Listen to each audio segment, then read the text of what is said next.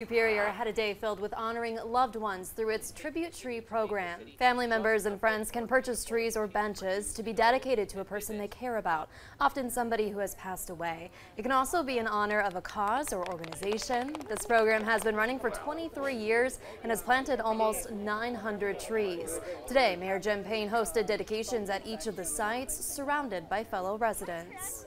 We see a lot of diversity among who these are dedicated to, but the common theme among all of them is they're making our city a better place, especially the trees, which are a growing, living tribute to somebody or some organization.